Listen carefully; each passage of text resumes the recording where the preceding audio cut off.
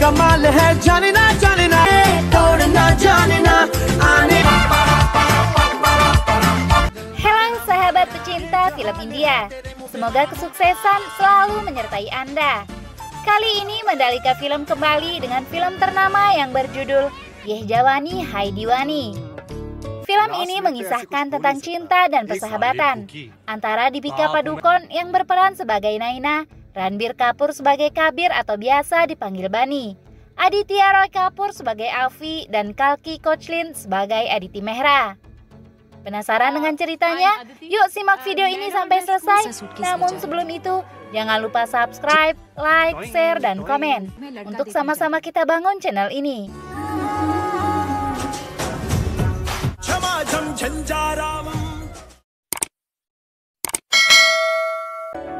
Naina Talwar adalah mahasiswi kedokteran yang kuper dan selalu berkutat dengan bukunya hingga selalu menjadi juara. Suatu hari dia bertemu dengan teman sekolahnya dulu yang bernama Aditi di tempat perbelanjaan. Penampilan Aditi Mehra yang urakan membuat Ibu Naina bersikap sinis kepadanya. Aditi dan Naina sekedar saling menyapa karena dulu mereka juga bukan teman dekat. Aditi kemudian menceritakan rencana berliburnya ke Manali untuk mendaki Himalaya bersama Kabir dan Afi. Setelah itu, Aditi kemudian berpamitan pergi. Saat makan malam, Ibu Naina menceritakan kepada suaminya jika dia bertemu dengan teman Naina yang urakan. Dia bersyukur Naina tidak berteman dengannya. Dia sangat membanggakan Naina anaknya yang akan menjadi seorang dokter. Mendengar itu, Naina terganggu dan mengatakan pada ibunya jika dia merasa Aditi lebih beruntung darinya. Aditi bisa melakukan apa saja yang dia inginkan, bahkan bisa berlibur. Sedangkan dia hanya belajar dan belajar bahkan di hari libur. Naina lalu meninggalkan meja makan dan masuk ke kamarnya. Naina kemudian mencari informasi mengenai liburan ke Manali. Dia tertarik sehingga keesokan harinya dia memutuskan untuk pergi menuju Manali. Sebelum berangkat ke stasiun kereta, Naina meninggalkan surat untuk ibunya. Keesokan harinya, Naina siap untuk berangkat berlibur. Dia pun pergi ke stasiun kereta sendirian. Naina lalu bertemu Bani. Awalnya, Bani tidak mengenali Naina, namun Naina mengingatkannya. Ketua rombongan perjalanan yang bernama Sumer kemudian datang meminta Bani naik ke dalam kereta karena akan segera berangkat. Tapi kata Sumer, kursinya sudah penuh, jadi tidak ada tempat untuk Naina. Bani mengatakan tidak masalah, dirinya bisa tidur bergantian dengan Naina. Naina kemudian meminta Bani membawakan barangnya. Bani mengatakan dirinya bukan kuli dan meminta Naina meminta tolong dengan baik. Bani segera naik kereta dengan membawakan barang milik Naina. Naina terdiam. Bani bingung kenapa Naina belum juga naik. Akhirnya dia turun menanyakan ada apa dengan Naina. Naina mengatakan ini adalah perjalanan pertama kalinya seorang diri. Bani meyakinkannya untuk ikut dengannya karena perjalanan mereka akan menyenangkan. Mereka kemudian segera naik ke dalam kereta yang baru melaju. Bani lalu mengajak Naina bergabung bersama Aditi dan Avi. Selain itu, Naina juga bertemu dengan gadis seksi yaitu Lara dan kedua temannya. Hai, Avi. Di dalam kereta, mereka bermain sebuah game yang berjudul Pernah Mereka Lakukan. Namun permainan itu membuat Naina merasa canggung. Tidak satu pun dari permainan itu pernah dilakukannya.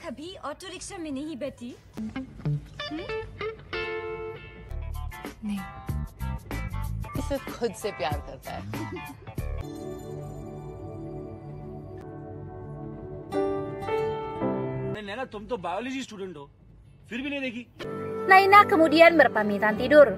Di tengah perjalanan, rombongan mereka berhenti untuk istirahat. Afi dan Bani datang untuk membangunkan Aditi.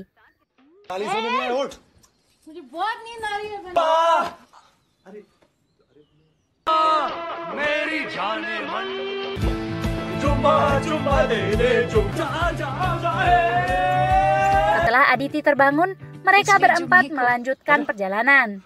Bani mulai membual. Jika dirinya sangat alergi terhadap pernikahan. Tidak lama seorang wanita yang merasa dirinya dilecehkan oleh Afi merasa keberatan hingga memicu terjadinya perkelahian.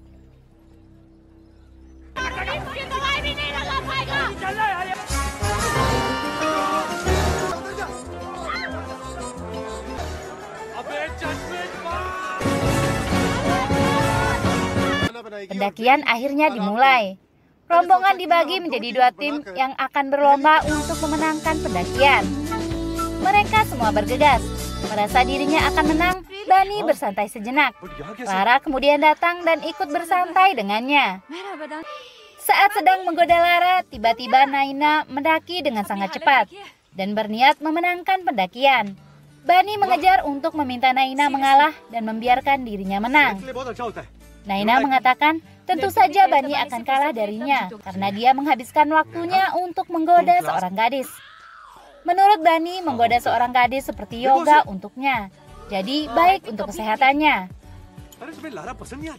Bani kemudian meminta Naina duduk bersamanya.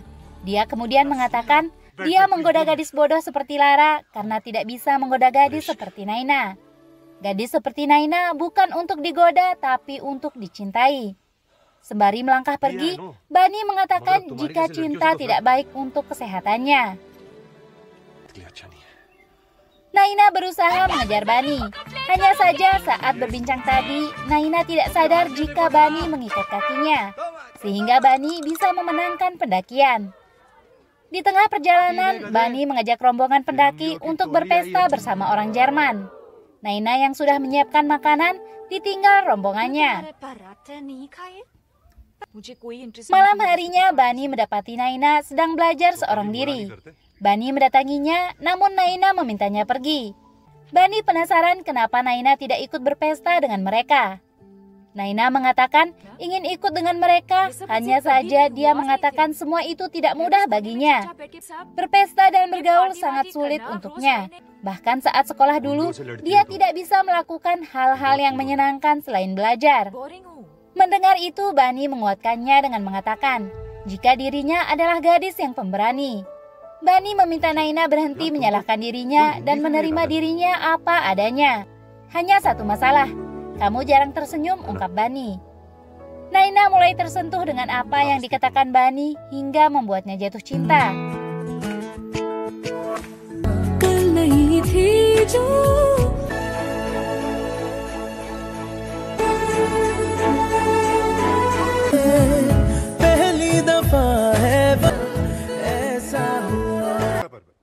Waktu berlalu, mereka akhirnya sampai di titik Kipsi. Leader pendaki gunung menunjukkan sebuah puncak tertinggi bernama Buta, yang diyakini sebagai tempat yang angker.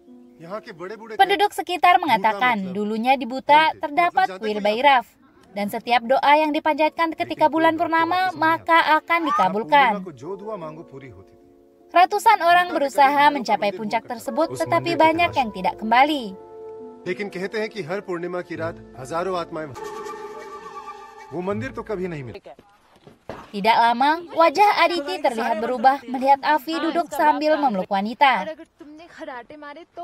हाँ dude, हम दोनों वापस जाके एक apartment rent करने वाले हैं Dini hari, Bani memutuskan untuk pergi menuju Buta, namun dia terkejut di tengah perjalanan. Dia bertemu dengan Naina yang juga hendak pergi menuju Buta. Mereka berdua akhirnya mendaki bersama-sama. Melihat Bani kelelahan, di tengah perjalanan Naina meminta untuk istirahat. Bani kemudian menceritakan impiannya pada Naina bahwa dia ingin berpetualang keliling dunia. Dia ingin terbang dan kalaupun terjatuh dia tidak ingin berhenti. Mengaku terbawa perasaan, Bani bahkan tidak pernah mengatakan mimpinya ini pada Afi dan Aditi. रुकना नहीं चाहता मैं उड़ना चाहता हूँ नैना Mereka melanjutkan perjalanan dan akhirnya sampai di puncak Buta. बहुत सिंपल पता नहीं वहाँ भैरव का मंदिर था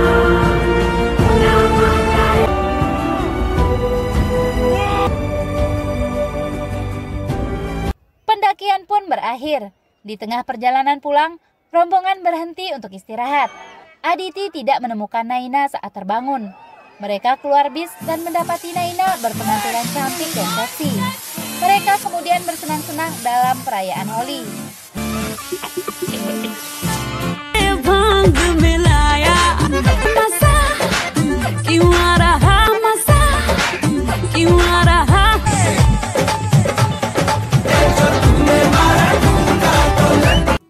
Sehari sebelum mereka pulang, Naina ingin mengatakan rasa cintanya kepada Bani. Namun saat itu, Aditi dan Afi menemukan surat rahasia yang disimpan oleh Bani. Surat itu merupakan surat beasiswa yang diterima Bani untuk kuliah jurnalis di Universitas Northwestern di Chicago. Bani menjelaskan bahwa ia ingin memberikan surprise dan memberitahu mereka, namun mereka menemukannya lebih dulu. Bani menjelaskan bahwa perjalanan adalah petualangan. Dia sedih meninggalkan teman-temannya, tapi senang bisa memulai karir yang merupakan impiannya.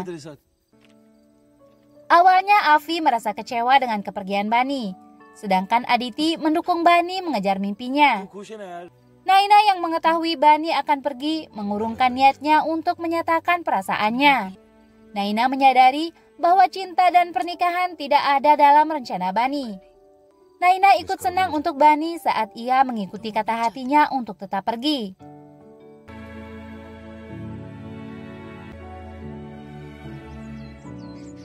नहीं बोल पाई वो मस्ती वो दोस्ती Delapan tahun उसने कभी मुड़ के kemudian, नहीं देखा Naina menyelesaikan sekolah kedokterannya dan bekerja di sebuah klinik. Sementara Bani bekerja sebagai seorang kameramen televisi untuk acara perjalanan dan petualangan dunia, seperti yang telah direncanakan.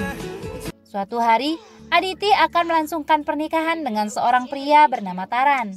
Dia meminta Bani pulang ke India untuk datang ke pernikahannya. और पूरे ताम झाम के साथ हाँ?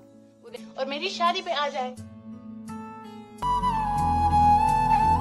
Bani datang ke India dan membuat kejutan untuk Naina dan Aditi.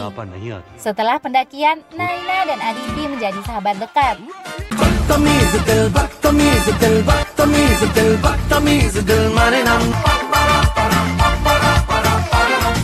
Bani datang menyapa Naina yang sedang duduk di kolam. Mereka sedikit berbincang. Flirt karna zaruri hai. Kya?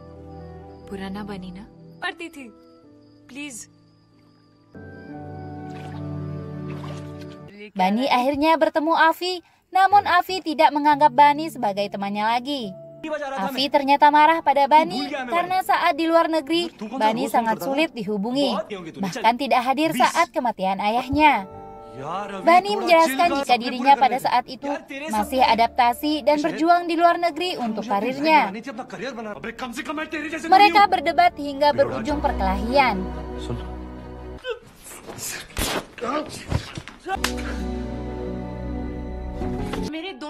Aditi kemudian datang dan mendamaikan mereka.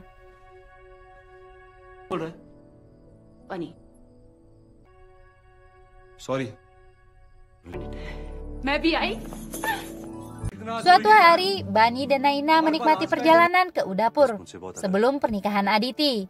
Mereka berdua menikmati एक perjalanan. ही शहर के एक ही घर के एक ही कमरे में तू लेकिन अगर हम चले गए तो ये सॉलिड सन I love my life Naina Saat mereka hendak kembali, Bani menceritakan tentang dirinya. Tiga tahun yang lalu saat ayahnya meninggal, saat itu dia bekerja di perusahaan trekking Amerika. Bani melakukan perjalanan bersama dengan 24 mahasiswa. Setelah 8 hari melakukan perjalanan, Bani kembali ke kota. Saat itu, dia mendapatkan telepon dari Mumbai, termasuk telepon dari Avi dan Aditi, mengenai kematian ayahnya. Dia mendapatkan telepon hari Senin, namun dia membacanya seminggu kemudian sepulang trekking. Mendengar hal itu, Naina berusaha menenangkan Bani.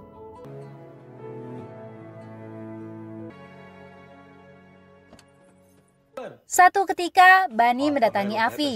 Bani menawarkan bantuan kepada Avi setelah mendengar kabar jika tempat usaha milik Avi sedang mengalami masalah keuangan.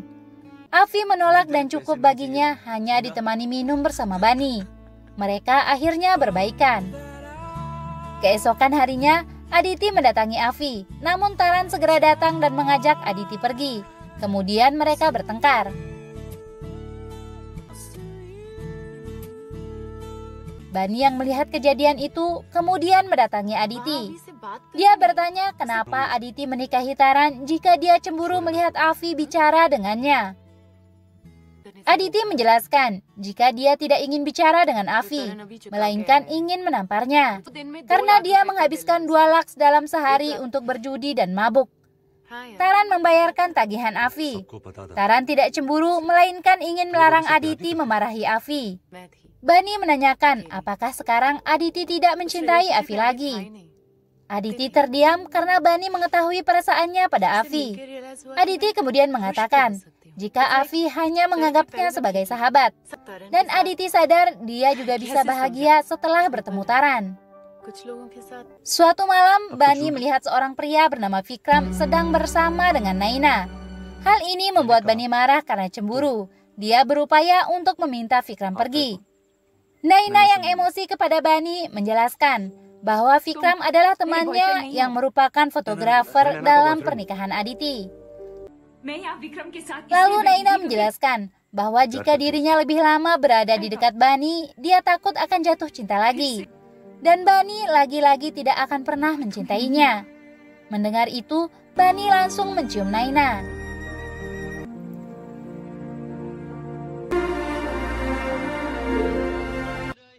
Keesokan harinya, Naina mendatangi Bani. Bani ingin Naina bisa hidup bersama Bani selamanya. Naina mengatakan jika dirinya adalah gadis yang sederhana. Dia tidak mungkin meninggalkan orang tua dan kliniknya. Dia tidak sanggup jika harus berkeliling dunia mengikuti Bani.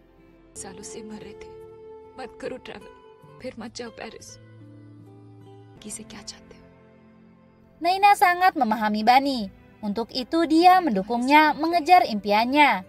Dan Naina memutuskan untuk saling melupakan satu sama lain, kemudian pergi dalam tangisnya. Itu Please, one second.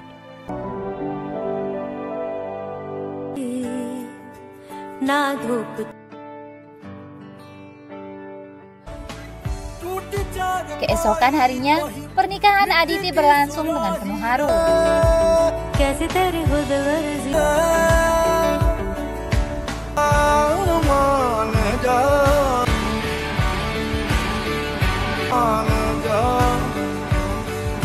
Saatnya Bani meninggalkan India.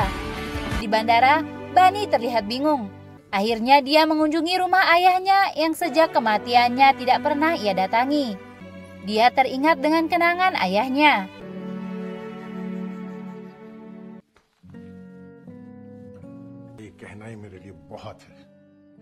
Pada malam tahun baru, Aditi pergi untuk bulan madu. Avi pergi ke bar, sedangkan Naina duduk sendirian di rumah. Seseorang kemudian mengetuk pintu rumah Naina. Ternyata itu adalah Bani. Naina bingung karena seharusnya Bani sudah bertolak ke Paris untuk bekerja. Tapi Bani telah menolak pekerjaan impiannya karena takut Naina menikah dengan orang lain. Bani kemudian memasangkan cincin di jari manis Naina. Naina khawatir Bani mungkin akan menyesali keputusannya di masa depan. Namun Bani mengatakan bahwa dia sangat mencintai Naina. तेरे साथ कुछ वक्त बिताना चाहता हूँ दुनिया का कोना कोना देखना चाहता हूँ लेकिन तेरा हाथ पकड़कर bersama-sama menelpon Avi dan Aditi secara bersamaan untuk memberitahu jika Bani tidak berangkat ke Paris dan berada di rumah wanita yang dicintainya, yakni Naina. Film pun berakhir. Sekian dan terima kasih. Jika kalian suka video ini, jangan lupa subscribe dan sampai jumpa di video selanjutnya.